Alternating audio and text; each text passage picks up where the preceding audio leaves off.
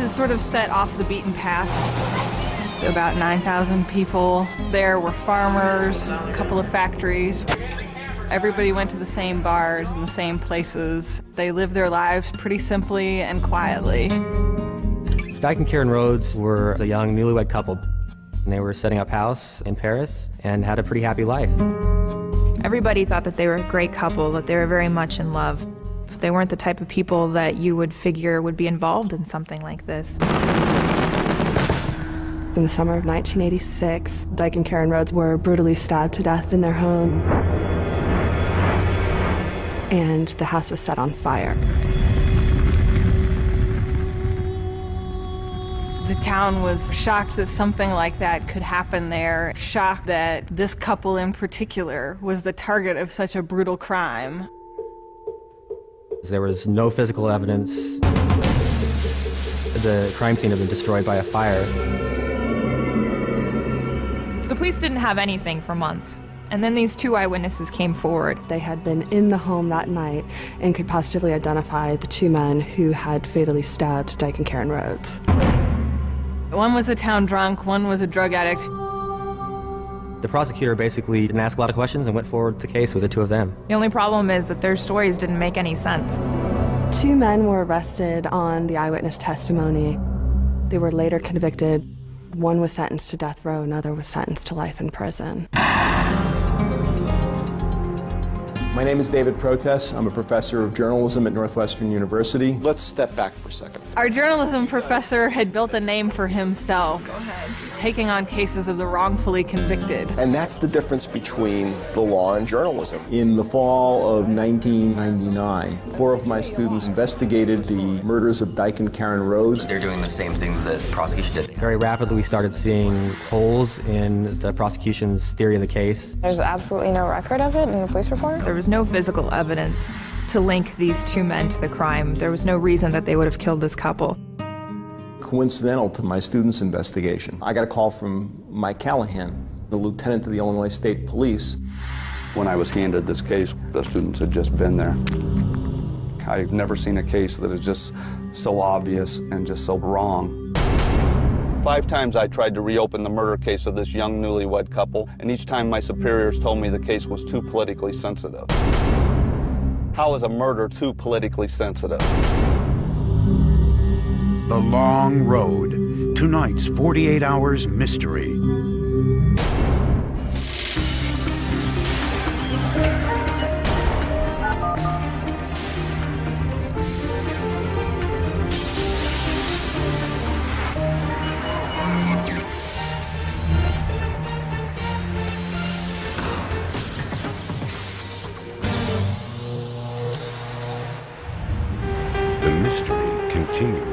90 seconds.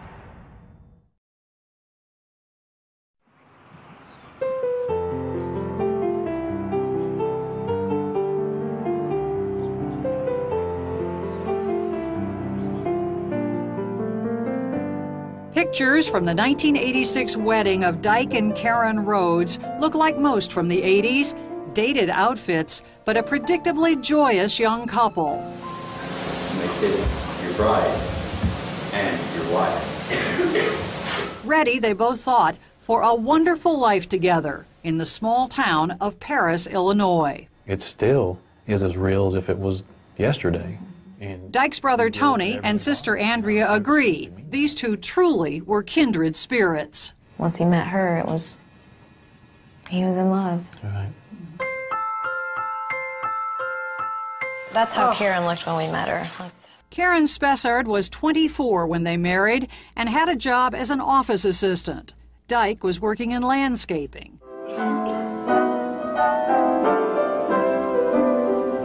Nowhere in those touching pictures is there any hint that the lives of Dyke and Karen Rhodes would come to a violent end in less than four months.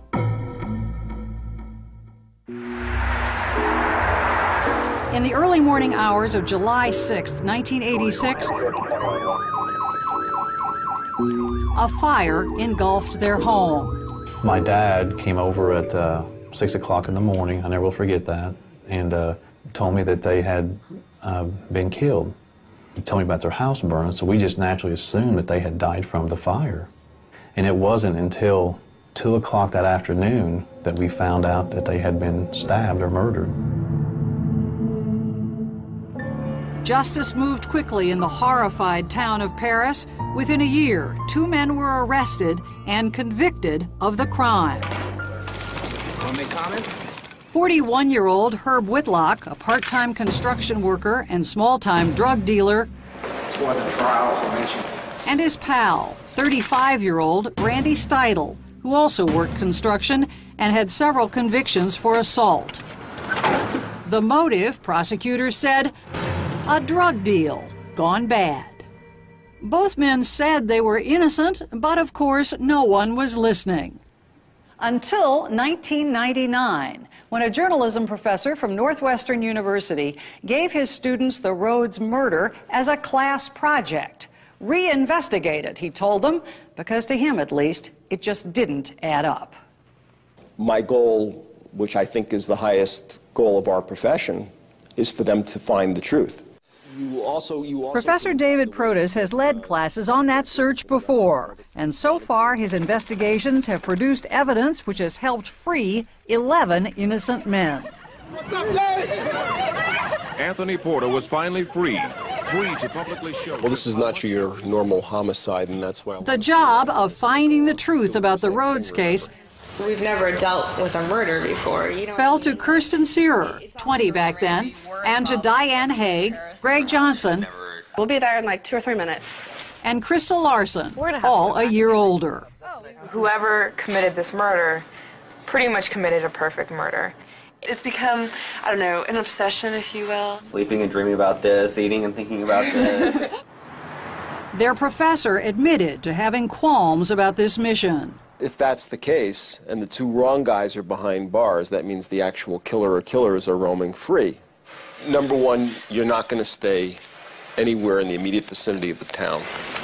Number two, you're not going to tell any of the sources you talk to where you're staying. All right, let's hit the road. Number three, I don't want you to stay in the same place two nights in a row. Pedal to the metal, baby. For the next nine months, ah, I'm sorry. The students would spend most weekends on the road, Drive is so long. making the 180 mile trip from Chicago to the small town of Paris. They would plow through police reports and court records to track down new leads Hey, is it all right if we stop by and talk to you again real quick? and old witnesses, wherever they could find them. You've interviewed how many people, do you think? Oh, goodness. 50? 50, more than that. To their surprise, they soon felt almost as if they had known Dyke and Karen Rhodes. There's something going on that's not coming out. Over and over again, the students recreated the crime scene in their mind's eye. Going back to that 4th of July holiday weekend, Dyke and Karen were sleeping in bed. The people came in. They attacked Dyke first, stabbing him in the back. Karen had time to wake up, maybe grab her glasses off a nightstand, and then was stabbed herself mostly in the chest. There was blood all over the room, on their clothes, on the bed. blood everywhere, but on the suspects. This young couple was tragically stabbed over 50 times. These men would have been covered in blood. There would have been blood in their automobiles. There would have been blood on their clothes. There would have been hair, fiber, something that linked them to the crime scene. Nothing did. Remarkably, Professor Protess's skepticism is shared even by Dyke Rhodes's own family. We weren't 100% convinced that, uh, that they were the ones who did it. Their doubt is based on both the lack of physical evidence and on that supposed motive. The prosecutor contends to this day this was a drug deal gone bad. Yeah, Is that something that you can maybe accept? absolutely not. But Dyke had met Whitlock half a dozen times, according to the testimony of a friend who had bought cocaine from Whitlock. Well, did Dyke use drugs? He had been an occasional pot smoker. What about Karen? No, absolutely we not. But there's a big difference in somebody who's an occasional pot smoker and somebody who gets involved with a drug deal that's gone bad and is going to cost you your life. The students also doubt the drug deal theory, but finding holes in this case isn't as easy as it first seemed. Because the juries heard from two people who said they had actually been there eyewitnesses, and one with an incredible story. You held her down while they stabbed her. Yep.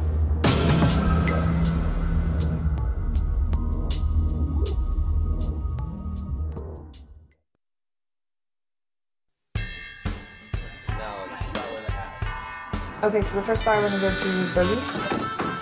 Back in 1999, the four Northwestern journalism students lived every college kid's dream assignment. Staying out late.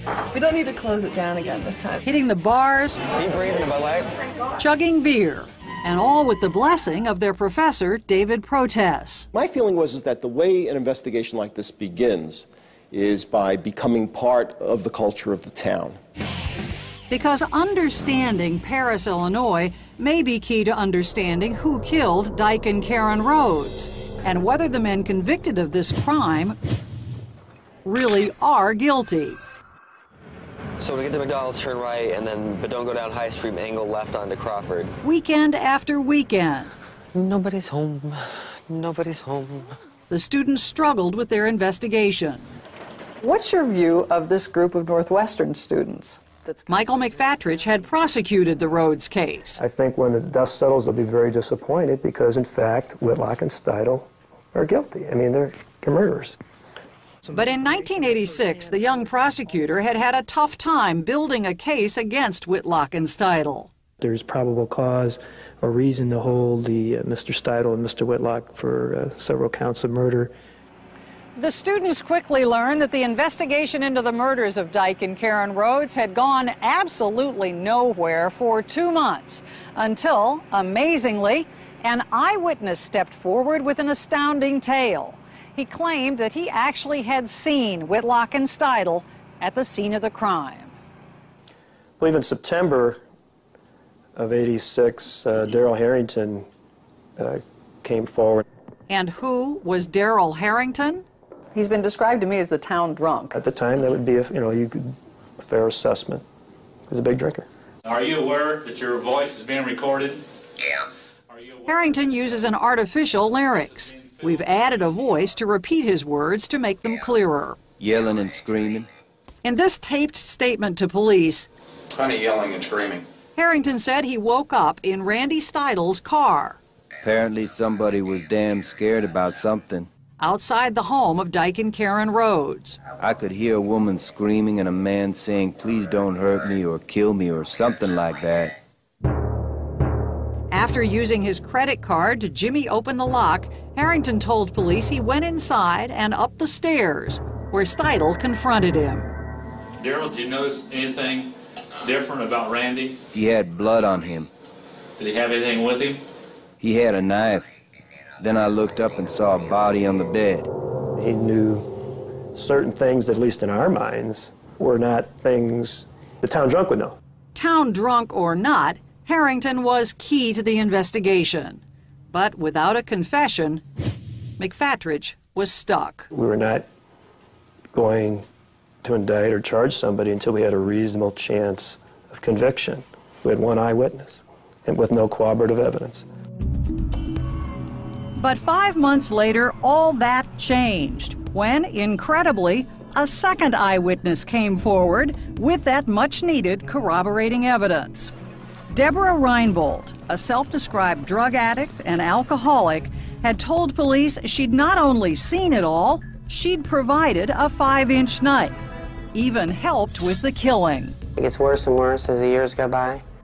By the time the students began their investigation, Deborah Rienbolt claimed she was clean and sober. But in 1986, You know, I always drank, I always drugged. What happened that night? Big mess. Everything went wrong. I mean, they were just going to go down there and try to scare Dyke, and then things just got out of hand. How well did you know Herb and Randy at the time this happened? I, I knew him. um, just through the drug thing. You can remember seeing them stab Dyke? Mm-hmm. Both of them? Mm-hmm. And what's happening with Karen in the meanwhile? She's trying to get up off the bed, and I had went over there and was telling her that everything would be okay. You held her down while they stabbed her? Yep. Where did this knife come from? It was my husband's knife, and they wanted it. Rienbolt's story had impressed police, especially when she'd accurately described a broken lamp found in the Rhodeses' bedroom. So it was broken before they were killed, or while they were being killed. Two separate juries believed both the eyewitness accounts. And in 1987, despite their unwavering protests of innocence, the two men were convicted. Herb Whitlock got life, and Randy Steidl the death penalty. I defy anybody to say I was proved guilty beyond a reasonable doubt. I had no involvement whatsoever in that crime. Do you know anything about it in terms of who did? I wished I did. I truly wished I did. I had a little belief that uh, that there was justice in the, in the system. Uh, I was pretty naive. I'm not naive anymore. Did you kill Dyke and Karen Rhodes? Absolutely not. As long as I breathe, I'll never accept what's been done to me. So I'm just stuck, anger and depression. Although prosecutor McFatridge had recommended no jail time for the two eyewitnesses, Deborah Rienbolt did serve two years in prison for concealing a homicide. Herrington never was charged. But months into their investigation, the Northwestern students found new evidence. Evidence that cast serious doubts on the testimony of the state's two star witnesses.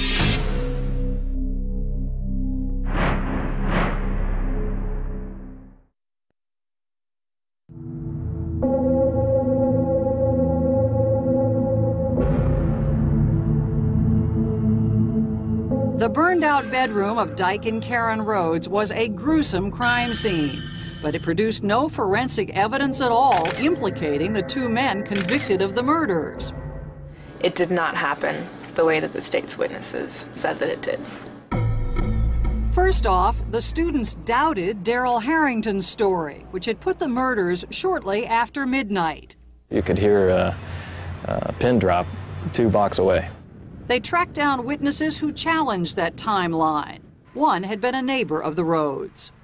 You would think that with the house located just 100 yards away, we would have heard something.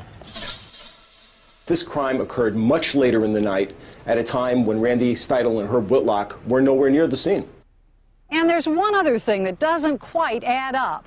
Herrington told police that after the murders, he was standing here by what was then the Rhodes garage with Randy Steidl. Deborah Rienbolt also says she stood here with Randy Steidl. Both eyewitnesses saw Randy Steidl, but remarkably, they never saw each other. You know, the fact that they're both there but that they don't see each other, to me, that just didn't make any sense at all. It could have happened that way. And matter of fact, must have happened that way. Former prosecutor Michael McFatridge. That argument was presented at trial to two different juries by two different defense attorneys. The juries found the defendants guilty. McFatridge may not find this odd, but his star witness, Deborah Rienbolt, sure did. I thought somebody's made this up, somebody's lost their friggin' mind, this is the town drunk. There is no way this man was there. But what about Deborah Rienbolt's own story? Her testimony was key to the guilty verdicts. After all, she said she'd seen the murders. Even said she helped. Do you swear that the testimony you're about to give should be In 1996, nine years after the convictions, Rienbolt matter of factly stated in a sworn statement to Randy Steidl's lawyer that she had lied on the stand. What parts were untrue? Oh, I don't know that Randy was there. I don't know that Herbie was there. Um, As for those impressive details she'd provided about what she had seen inside the house, Had you ever been in uh, Dyke and Karen Rhodes' house? No. but hold on to your hats. Were you there the night of the murders? No. Beginning of this tape, you hold up your hand, you take an oath. This is Understand that. absolutely true. And I understand that. I understand I did that. In a head spinning reversal, Deborah Rienbolt later insisted that she actually was lying on the tape, that her original eyewitness account of being at the scene of the crime was and is true. Is it? Well, it's pretty hard to know. Over the years, Deborah Rienbolt has changed her story more than half a dozen times. Why have you changed your story so many times? Basically, wanting to get out of this, just wanting it over. The bottom line is, I can't change a story that's true. Well, you have several times. And keep it changed, is what I'm saying. You know, when you look at the crime scene and you look at the Bill Clutter, an investigator working on the Randy Steidl case, thinks he has proof, beyond her various accounts, that Deborah Rienbolt never saw the murders at all. Remember that broken lamp? the prosecution uh, used the lamp as the centerpiece of their evidence, uh, corroborating Deborah Rienbolt's account of what happened this night. And it made her believable. It made her believable. Rienbolt testified the lamp was broken when she got to the Rhodes' bedroom. It was broken before the fire. Yeah. After the fire, black soot covered the crime scene. It's absolutely white. It's bone white. You're contending that if the lamp had been broken, the inside of it, the broken pieces, would have had soot on them. It would have had soot on it. So Deborah Rienbolt couldn't possibly have seen it broken. She could not have seen a broken lamp. How could that have happened? I have no clue. In the same sworn statement in which she denied being at the crime scene, Rienbolt also said the police fed her the information about the lamp. They come up with, well, there was a broken vase or a broken lamp there. And then I'd say, well, okay, so there was. Did you ever ask Herb or Randy why they did this? I don't think it ever crossed my mind to ask him. I mean, they've slaughtered two people right in front of your eyes, and you never asked them why? No, I didn't. I probably wouldn't today. For the students, it all added up to more than a reasonable doubt. Especially when they started turning up other witnesses the police never had talked to. One of whom pointed them in an entirely new direction. Do you remember the weekend of July 4th in 1986? Yes, I do. This woman let the students videotape her, but she was so frightened she asked that we obscure her face and alter her voice. I noticed two men standing opposite the streetlight by Doc and Karen's house. But what caught my eye was they had trench coats on in July. She said she saw them around 9 o'clock the night before the murders. And one of them was a big guy with blonde hair, and the other guy was small framed and looked like he had dark hair. But they were just standing there looking toward Doc and Karen's house. And she thinks she saw the same two men the next night, the night of the murders. This car started coming around. And it was white with a gold stripe down it, and it had Florida license plates. They would just go by. Stood in front of Dyke and Karen's house, stop, and I seen them looking, you know? And then take off. They did this about ten times, just, I mean, continuously. Why would anyone be doing that? Across town, the students also tracked down a gas station attendant who worked the night shift and who remembered selling a lot of extra gas to a man driving a car with Florida plates. Several containers of gasoline. You know, that's not uncommon at 3 o'clock in the afternoon, but 3 o'clock in the morning, I thought, well, that's strange.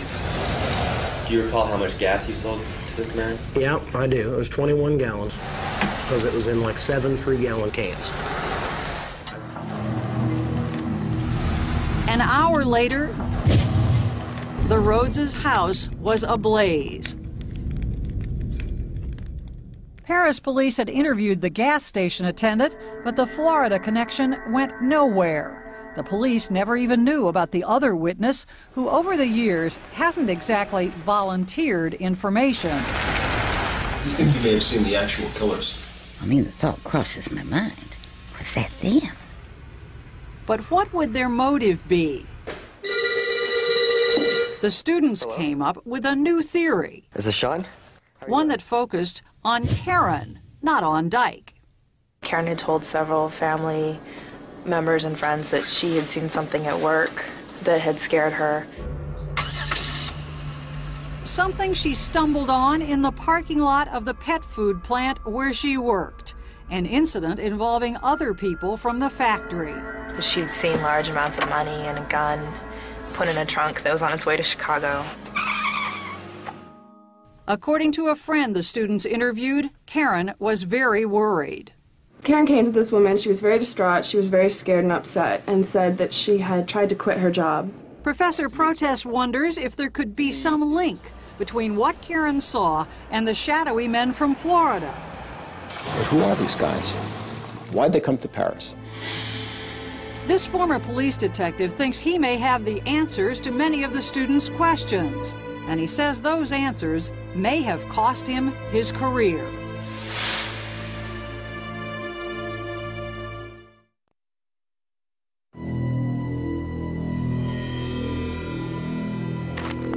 I worked many years undercover in the trenches. I would take on the undercover assignments that a lot of people wouldn't. The Northwestern students didn't know it at the time, but this seasoned investigator also would conclude that the men in prison for the Rhodes murders were innocent. I was working a lot of narcotics, I saw you dump that out of the chute. 20 years in investigations, I was buying drugs. hundreds of felony arrests. Michael Callahan's career with the Illinois State Police spanned nearly two and a half decades. Master Sergeant Michael A. Callahan. He was promoted three times over the years. I, I busted my butt for the Illinois State Police. I, I worked long hours. I dedicated myself. And in the year 2000, he made lieutenant and was asked to review the Paris murder investigation. Shortly before 48 Hours was to air a program about it. He had no idea what he was getting into. This is by far the worst investigation I've ever seen. This is the case, a Xerox copy of the original case file that I was asked to review. Every single one of these little markers, these little flags, represents some contradiction or Yeah, some problem with the case? Yes, there's probably hundreds in here. Evidence or information or leads that weren't followed that should have been followed. Uh, again, contradictions uh, of what people said in these reports. Some pretty serious stuff. Including serious questions. Questions the students also had raised about the real motive for the murders. The case file basically said that this was over a, a bad drug deal. Uh, it wasn't over drugs. I mean, you look at Dyke and Karen, they had $200 in their savings account at the time of their deaths. They're, they're not major narcotics traffickers by any means. Like the students, Callahan was drawn to those stories of what Karen may have stumbled on at work. Not just large sums of money that seemed out of place, but also a machine gun. She started questioning things, and I think that's what got her in trouble. Callahan wondered if someone at Karen's job knew something about the murders. Karen had told family and friends that she had seen something in the parking lot at work, something that made her afraid, and she was thinking about quitting her job. Basically, she knew too much. She stumbles across something. She then is murdered. Yes. You have reached essentially the same theory that the Northwestern students reached. Hmm. And this information was available to the original investigators as well? Yes. Or could have been? Yes, or could have been. But if Karen did see money and a machine gun, what did it mean? Was there any connection to where she worked? To find out would take a new investigation. But Callahan says that in 2000, no one in the state police was welcoming a new investigation, and that in fact, when he tried to pursue one, his superiors yanked the rug right out from under him. I was told that I could not reopen the Rhodes case, that it was too politically sensitive. They actually told you it, Yes. this is too politically sensitive? Too politically sensitive. I will never forget that day as long as I live. No one ever explained to Callahan what too politically sensitive meant. How many times did you try to get this case reopened? Officially to Springfield five times. And every single time? Something happened. Why Callahan's investigation was blocked never was clear. In 2003, he was transferred out of investigations and that ended his pursuit of the Paris murders for good. I had a great reputation, and then they took that all away from me. They humiliated me. I know I took it out on my wife and my son. It took my son making that statement to me. He just said, I wish I had my old dad back. That broke my heart. Still does. But he refused to give up. Oh, there's the old touch. Instead, he sued the Illinois State Police, claiming they had transferred him to shut him up. Not only about the Rhodes murders, but also about reports he'd made to Internal Affairs, alleging inappropriate conduct by superiors. I was being punished for being too candid. That's how you interpret this. You were, you were punished Oh, yes. for For, having actually done what you were assigned to do. yes, I spoke out on a matter of public interest, and I was retaliated against for doing that. Callahan's case against the state police went to federal court. I fought for myself, and I fought for, for the victims here. He argued that his superiors muzzled him and violated his right to free speech, in part because he was trying to investigate any possible connection between what Karen saw at work and the Rhodes murders. Nobody's above the law. This isn't how things are supposed to be in small town America or, or in a major city. Callahan, now retired, found his own vindication. In 2005, he was awarded $360,000. A jury agreed he had been punished for just trying to do his job. People come to us for the truth, and we should always try to do the right thing. This wasn't just a situation where the cops didn't do a very good job. No, that's my opinion that they were framed. But fortunes are about to change with a development that the students, the cop, and the prisoners all have worked long and hard for and never thought they'd see.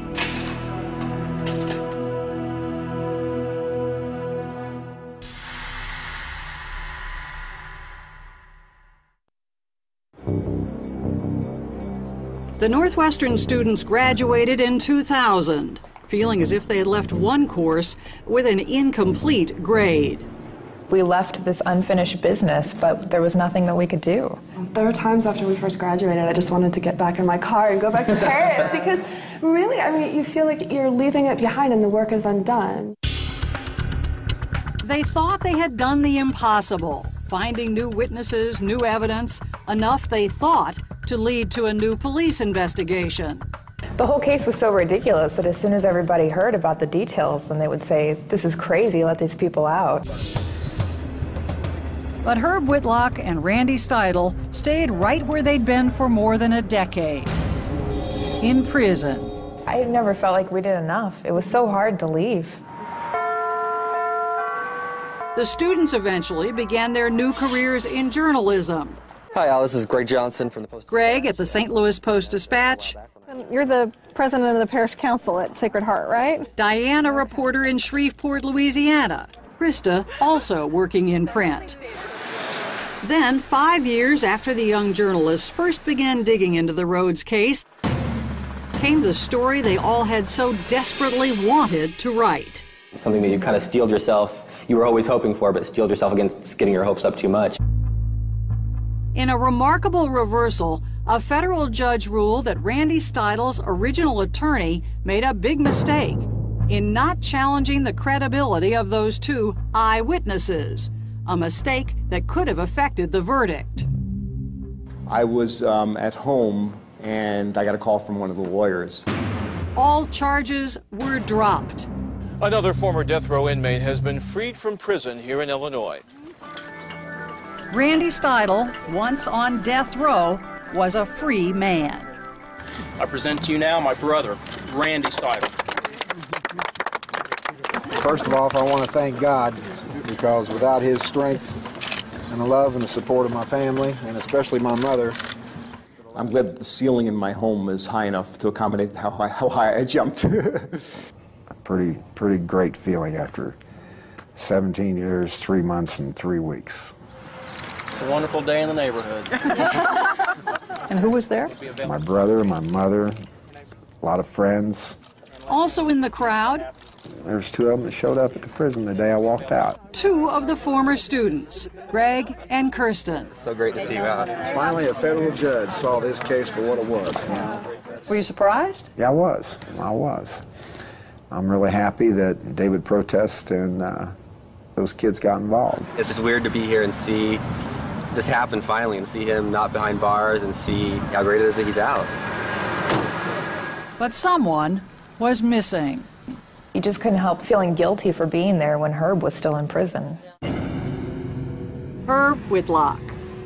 Does having Whitlock still there make you feel somehow, I don't know, it's like almost a survivor guilt, you know? I mean, it's well, it does in a way because uh, him and I took different paths fighting our case. While Steidl's case was heard by a federal judge, Whitlock's has stayed in the state system, where his appeals have been repeatedly heard and repeatedly denied.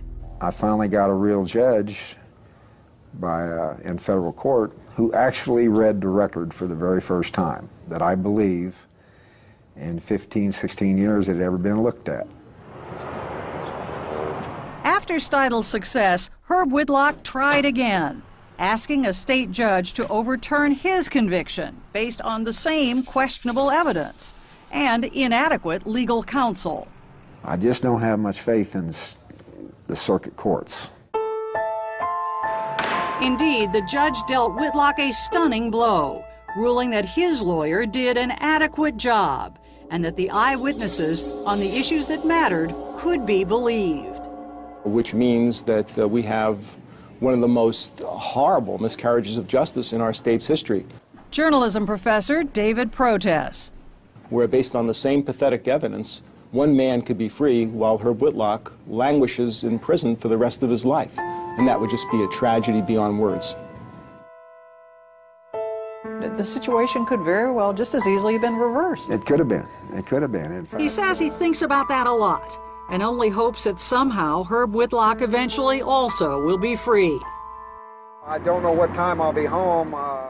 Meanwhile, Steidl struggles to reestablish his life. He gets a new job at a local factory. I've worked from uh, July on of last year steady, you know, eight, ten hour days. And tries hard to somehow fit in. Ever used an ATM? I uh, tried a couple of times. Like that? No, that's upside down. That's backwards. I can see why you don't use it. While Steidl adjusts to life as a free man, Whitlock files yet another appeal, based both on ineffective counsel and also on a new claim that the prosecution withheld evidence.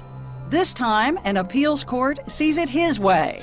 And finally, on January 8, 2008, Whitlock gets the news he has waited so long to hear. 61 year old Herb Whitlock, a free man. His conviction is overturned. At last, he too is free. Prosecutor this morning moved to dismiss the case against Mr. Whitlock, and Mr. Whitlock is now out of custody. Whitlock credits his attorney, Richard Kling. It was Herb's unwillingness to give up. Uh, for 22 years, he's been maintaining his innocence. For 22 years, it's been falling on a lot of deaf ears. He is the one that we really toast today because he's the one who deserves it. Mike Callahan is another hero. Mike Callahan went after witnesses that other people wanted to hide. He talked about reports that other people had deep sixed. Mike Callahan is also very special people. There's a lot of mixed emotions. I'm very happy for Herb Whitlock. I think this is a justice a long time coming for Herbie. For the first time in two decades, Herb Whitlock turns his back on prison and is able to hold hands with his daughter. To tell you the truth, I didn't. Uh, I really didn't anticipate ever getting out of there. A few days later, he returns to a place he once called home. I knew it was getting in bad shape, but I didn't realize uh, how bad. The family farm has gone to seed. I'm angry, but I'm not necessarily bitter and going to eat myself up with anger over what's been done. But Whitlock's eager to get to work. I'm going to restore it. I'm going to put it back at least like it was when I lived here. Determined to make up for lost time. Everybody's got to make the best out of their circumstances in life, no matter what it is. That's not hokey, that's the truth. But for the Rhodes family, who always had doubts about the investigation into the murders of Karen and Dyke, justice only will come when they know what really happened that hot July night so long ago. It's just not something that you're able to be at peace with at all. It's like an open sore that just doesn't heal. The truth is still out there, in my view. And I think it'll be found someday.